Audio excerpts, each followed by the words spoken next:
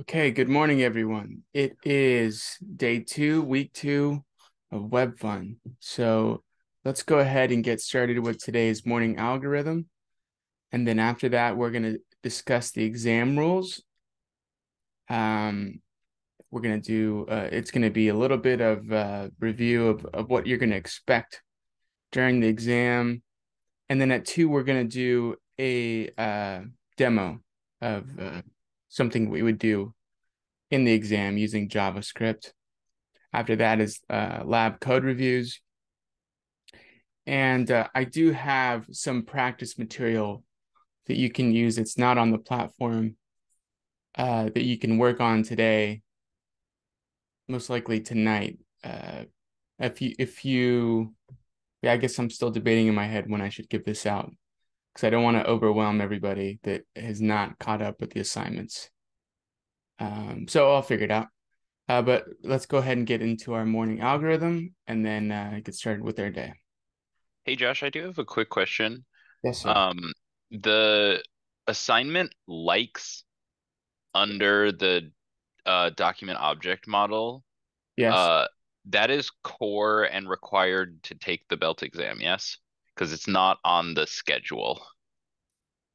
Um, yes, I'll add it to the schedule if it's not there, but I'm pretty sure that is. So let me double check that because um, if it doesn't have that P next to it, then it is core. Yep. Okay. Good catch. Thank you. Uh-huh.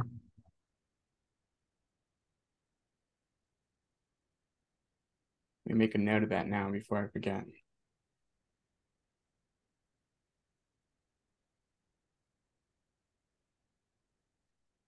Okay, let's get started.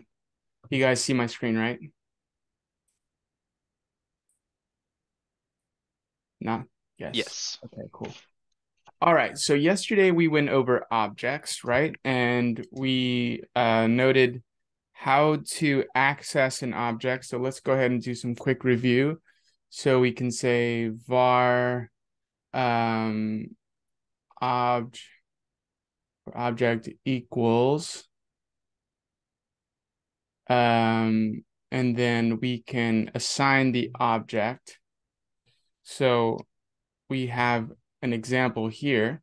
It starts with a curly bracket. It ends with a curly bracket, different than an array. And it has key value pairs. Okay. Um, so let's go ahead and, and just write this out really quick. var obj equals beginning, end, and then we have the, the key, and then we have the value, which could be a string, number,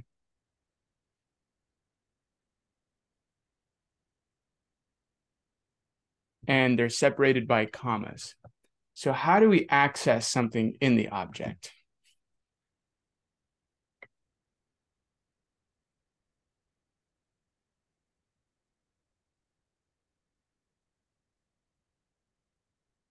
Yes.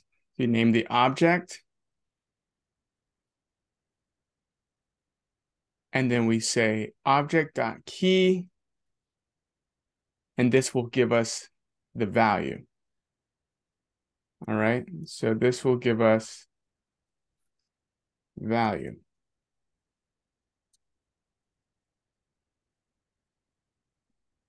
Okay, so then let's go ahead and work with objects today. We have this object called monster. We have an ID of one.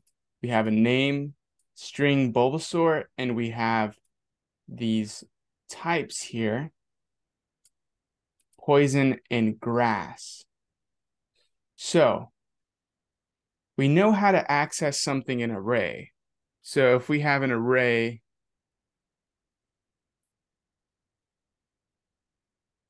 Ooh, That was ugly. Um, if we have an array that has two things in it, like uh, three and four, how do we access the four in the array?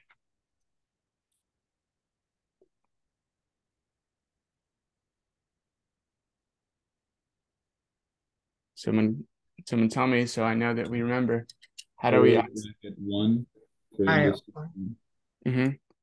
R at position one will give us this here.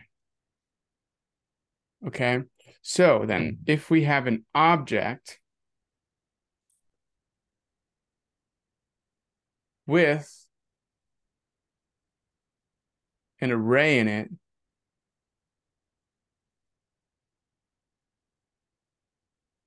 um, if we have an array in it, uh, sorry. Let me just look at this here. How do we access then the grass in this object?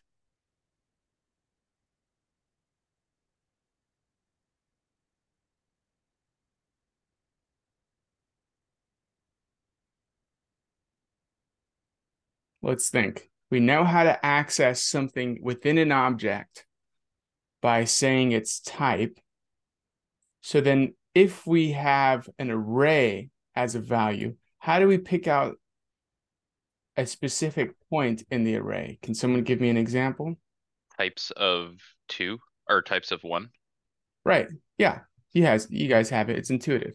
Monster dot types at that value in the array. Okay. So here we have a giant Pokemon object, different Pokemon. And so we are going to be playing with this object this actually this is an this is an array of objects this is an array of objects because we see here it starts with the bracket and each thing that has curly brackets is an object within the array. And we also have arrays within the object within the greater array. Why do we think that I mean, what's what's a guess as to why we have an array to encapsulate types when, for example, in this one here, Blastoise. There's there's only one item in the array. Why would we do that? Keep them separate. Keep them separate from what? The name and the type. Right, but you see how in the name here, bla- name Blastoise, it's name just is a string, and then and the array is its uh like bio more or less what it can do. Just defining it. Right, right. You know, you're on the, you're thinking right about what what it what it does, but I'm asking why if it's only one item here, why would we stick this in an array? Because the rest of types are in an array exactly because was- they have multiples. Yes. So some Pokemon have multiple types. Um, and so we have to, if they have multiple types, stick them in an array. And for those that only have one type, we also want to keep it consistent so that when we access the type, the first type, we always know that we're going to be accessing an array. So it was such a simple question. It maybe seemed like a like a trick question here. It's just to keep it consistent. Some Pokemon have multiple types. So every time we access the type in the array, we're going to be accessing or the type in this key value pair, we're going to be accessing an array. Okay. So we are going to go through some challenges. Let's look at this one first. If we wanted to console log the names of the Pokemon who have an ID greater than 99, we could do this. For var i equals zero, while i is less than Pokemon.length because Pokemon is the name of the array. So we're going through the length of the array, iterate through it. And if at any point in this for loop, Pokemon at i, id, that index ID is greater than 99, then we want to console log Pokemon at I's name. Okay, it's a it's a little bit verbose here. All we're doing is creating a for loop to go through this array, Pokemon. And if at Pokemon at I's ID is greater than 99, then console log Pokemon at I's name. Okay, this is how we search the array's index. Uh, and then that index object uh, key. So we get the value. So you could write that same Pokemon of I dot name dot type dot ID and it would access that specific description of the object at that uh indice. Uh, so ask it again because I think there was a there was a, something wrong in there. Say that state, statement again. Um, you could use uh that same Pokemon at I and write dot name dot ID or dot type to access that specific description of the item at the array. Right. The, the dot is what lets you use any of the descriptors that we have for that Yes. item. Yes. Okay. When we're at uh, whatever index that we're searching through in this Pokemon array, we land at an object. When we want to access something in that object, a value, we only have to say the dot notation for the key, dot name. So in this case, I'm looking at this one, Dewgong. Dot name will give me Dewgong, this string. And as we noted, what if we want to search through Pokemon at eyes name, uh, at eyes types? So we have the types, and then we have an array. Then we may have to search inside that array as well. If you console logged uh Pokemon of I dot type and there was it was one of the ones with two uh um two entries in the array for types, would it return the entire array if you didn't specify to search within the array? Yes. So that's what I Okay. want you guys to work on on your own. You're going to discover here through practice how to access everything uh, through the for loop uh, in this array of objects. Okay. So let's go through these challenges. Number one, we want to console log the Pokemon objects whose ID is evenly divisible by three. We know how to do this, right? Use the modulus symbol. Divisible by three. Number two, console log the Pokemon objects that have more than one type. Okay. So there's several here. Console log the Pokemon objects that have more than one type. Three, console log the names of the Pokemon whose only type is poison. Only type is poison. So let's look through this here, see if we can find it. Arbok and Ekans. Their only type is poison. And number four, the first type, console log the first type of all the Pokemon whose second type is flying. So some of them have uh, flying.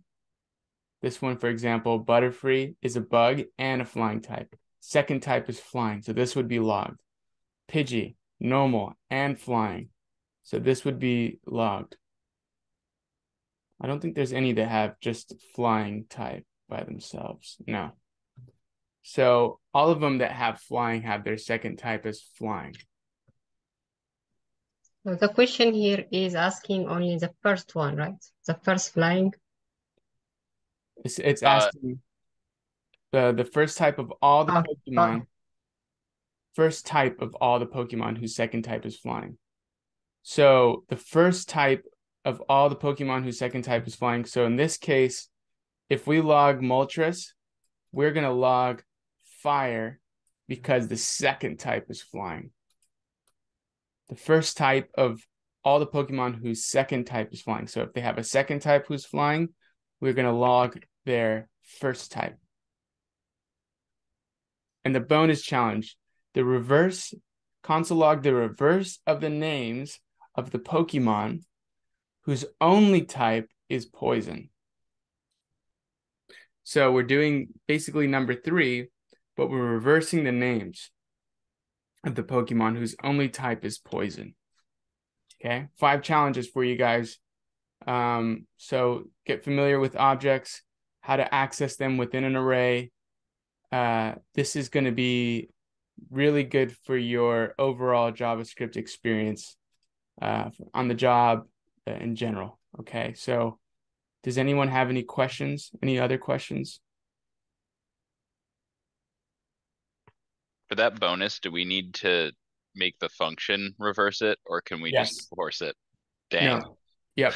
That because we we know how to reverse it ourselves. We have to make the machine do it. Okay. So that means we can use a reverse function, right? Um, we know how to reverse an array, right? We- Yeah.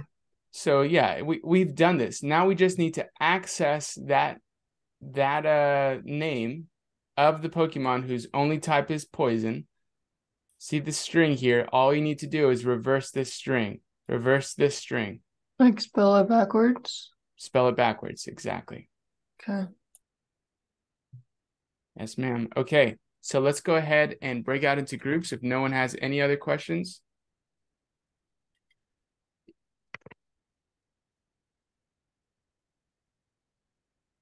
Okay. Let's go ahead and break out.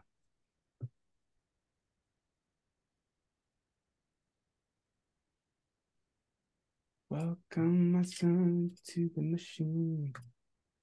All right, let's see how many groups are we gonna make. Oh, I gotta make Joe co-host.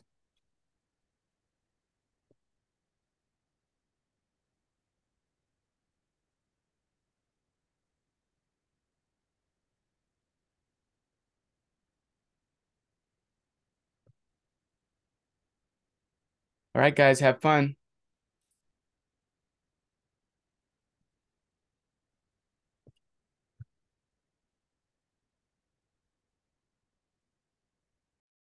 All right, let's get this uh, party started here. Who wants to share for the first challenge? The Pokemon objects whose ID is evenly divisible by three. I can go. I'll go. Okay. Somebody, whoever's screaming. Uh, Go ahead, Carlos. I didn't realize there was someone else. Sorry. No, no, you're good. Okay.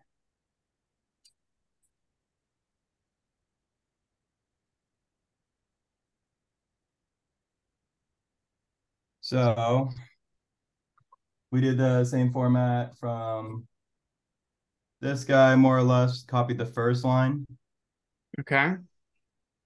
right there. I'll go ahead and make it out.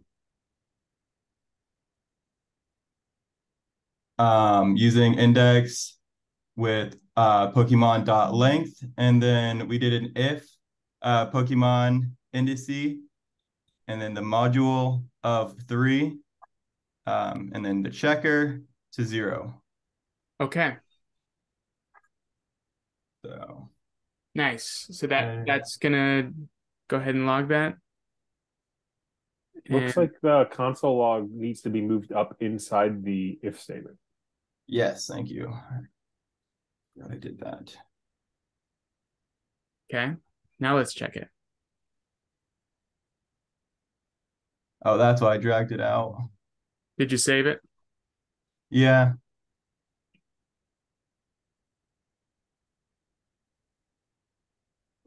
Oh, to do wrong? Uh sometimes it just You, you need to check the ID. You just have Pokemon sub uh Oh, The ID. yeah. I don't know how that I got erased because we definitely had that in there, Carlos. There we go. Yeah, checked no, we these. did. I don't know. We checked each of these before we were done, and they all ran. So Okay. Oh, cool. And then drag this over. All right. So we have this one here that's working nicely now. A couple adjustments, but it's all it's all good now. Okay. All right. For number two, let's have another group present. I'll go. Okay, go ahead. Keep uh, who was that? Leo. Leo? Alrighty. Okay, so to find the Pokemon objects that have more than one type, we did the same thing for the initial setup, just set up the for loop, um, set an i less than the length of the Pokemon array.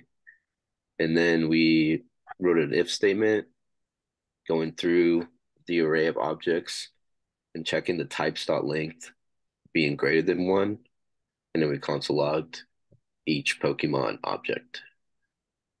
Okay, let's let me uh check here the instructions for this one. So this one here says more than one type. So okay, all right, this is good. Okay, Just run it. let's run it.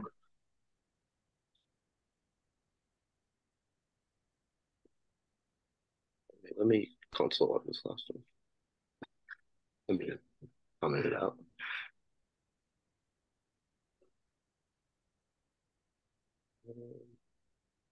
Let's see what we're missing here. We have well cl clear your console. Uh you can do that with right there, that button that has the Yeah, got it. or that's another way, yeah. Okay, I think I did. So yeah, I pulled up each one that has more than one type.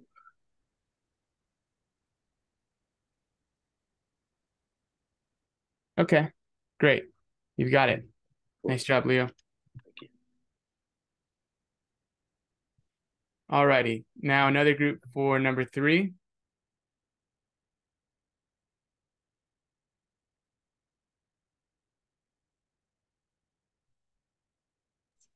I can do ours, but uh, Carlos is my group, but I can do it. Okay, sure. Thank you. All right.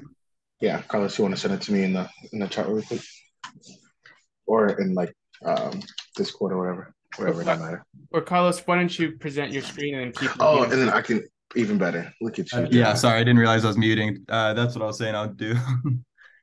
Here.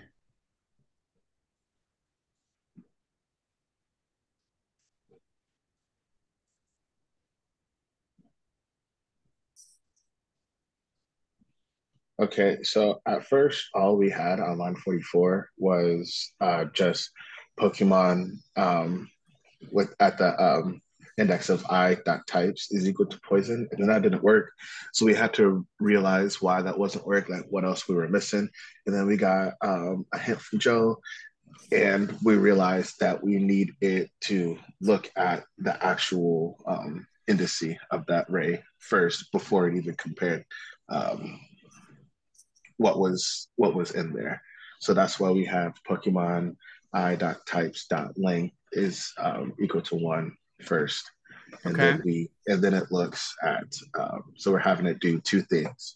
We're having it look at how many things are in the array, and then after that it looks at um, the value of the array, and then if both of those statements pass, then the um, the name gets console logged. Okay, so let's go ahead and run this.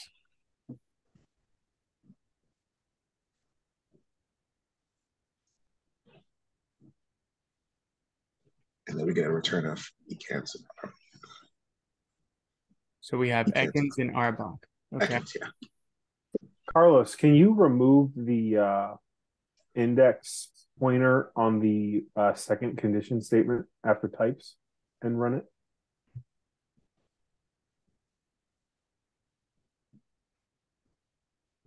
It's not gonna work. Oh, nice. Joe, you said that wouldn't work. Because remember, Joe, I asked you, I was like, why do we have that? Well, there's there's more than two Thank you, Pokemon with poison in their in their types. Huh? Never mind. I don't know. One second. I might have been Uh, misunderstanding. Joe, where you at? Did you Uh, save it? this is- Did you save it, up? Keith or Carlos? Yeah, I did. Because Yeah. remember, Joe, remember how I was asking? Because I said I wouldn't have thought. Thank you, Spencer, for asking that question. Because I said, remember how I, I said I wouldn't have thought to, to put that um, index of zero after types, and I, I and then um, I was asking would it work um, without Oh, that. I just, yeah, I, I don't know. I guess I just assumed that we couldn't compare. Maybe if you put a third equal sign, you can't. I didn't think we'd be able to compare the entire array to just the string poison and it come back true. well, ah, that's the beauty of trial and error. You put a third equal sign there, see what happens.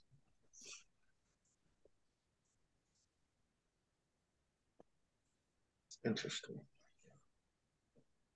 Yeah, that's what it was. So it's because JavaScript's all loosey goosey and it doesn't care that the it's wrapped in an array because the string inside the array is the same, which is honestly kind of getting a little borderline ridiculous. Like, I don't, uh, an array is should not be the same, even if it's just like you know the only thing in it is poison, but whatever.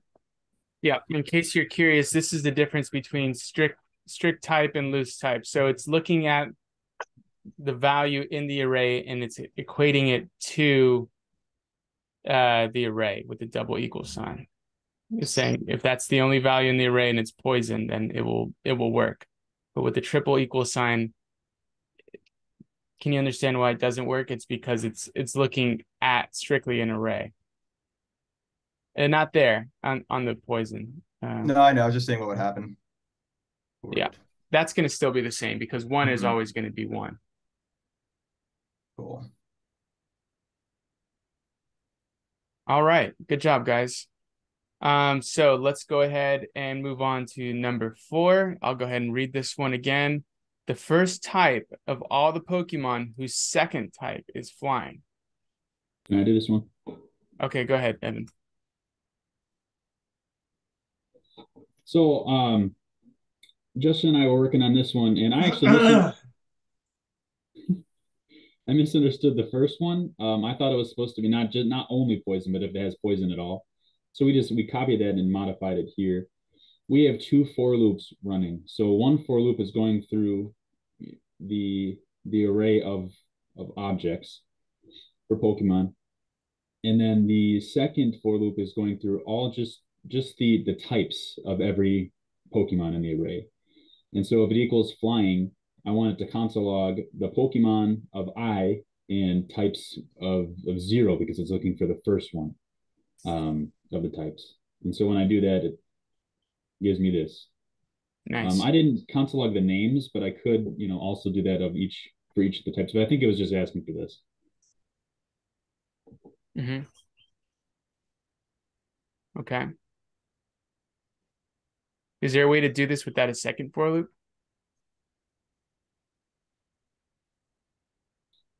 Um, That's kind that's hmm.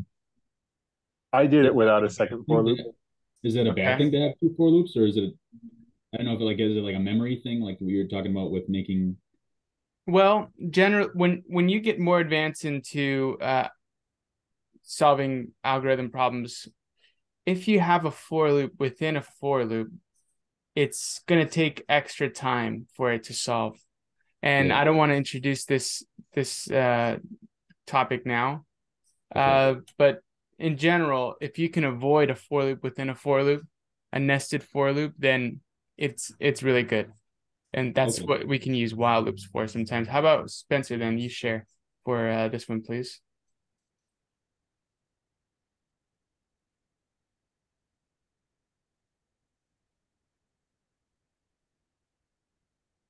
Okay.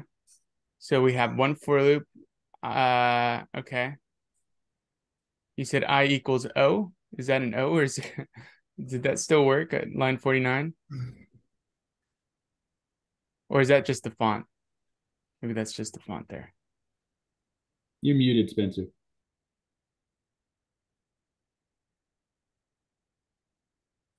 Yeah, the font's not the most amazing font. That is a zero. Okay, okay. So we have four i equals zero, i is less than Pokemon length, increase i. Okay, and then inside the for loop, we have an if statement saying if Pokemon at i's type uh, at index one is flying, console log Pokemon types uh Pokemon at i's type at zero. Okay. So this does the same thing without a second for loop. Yeah, we got the output down here. So it assumes um it can have three, four, five, six, ten types because it's only asking who's second type. So I just search for the second location in the array and then I output the first location in the array. Okay. So the difference then between yours and Evans is Evans checks the whole array for at any point if it's flying, right, Evan? Yes. Subtle difference, but both work. Uh, but yes, Spencer, you're looking for the second type, so you were very precise here. You didn't have to do a, a second for loop in, within. Okay, very good. All right, now would another group like to present for the bonus?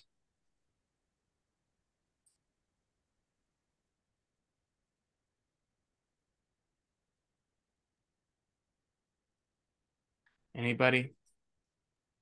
Me and Clark can go. Yes, thank you, Mike. Clark, do you want to share and I'll explain?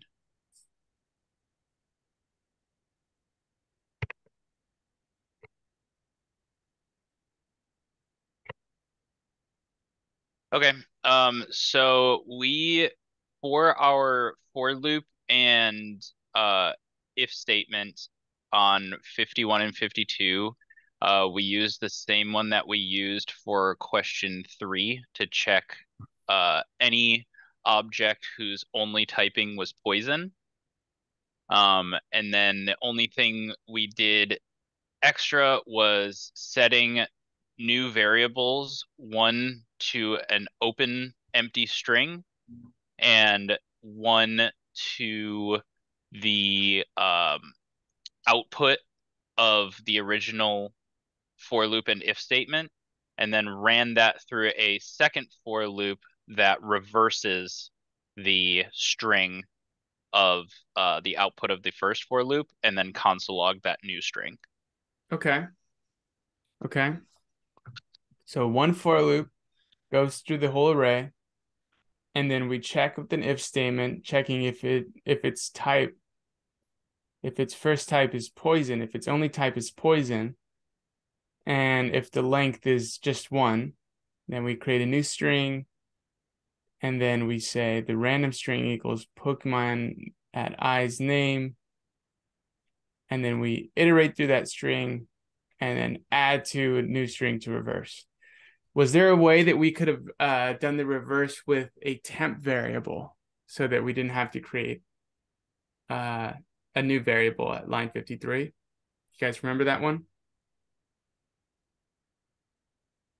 Okay no so that would be the only way to to improve this um, that i can tell which would be uh and this is going to be really helpful to, to remember uh, when whenever we're reversing a string is to create that temp the value at the beginning of the array or string goes to the temp the value at the very end goes equals the beginning and then um, then you say the value at the end equals temp that way we are not using extra memory what if this pokemon's name was a billion characters long, the most rarest Pokemon or something. Billion characters long, can't pronounce his name. I'm just giving it a, a wild example for when you're dealing with other types of data, reversing strings. Okay. So let's go back and uh, relearn that that algo when we have time, when we're not studying for the test. And uh, with that, we're done with today we're gonna go ahead and um, am I not saying Pokemon right? Pokemon. That's how you say it. Is it Pokemon? No, I'm not gonna say that. Uh, okay. uh, let's go ahead and and and take a break here, and uh, get started with the test review. So, does anyone have any questions before I break out? about today's algo? Any of the solutions? Okay, let's get our break on.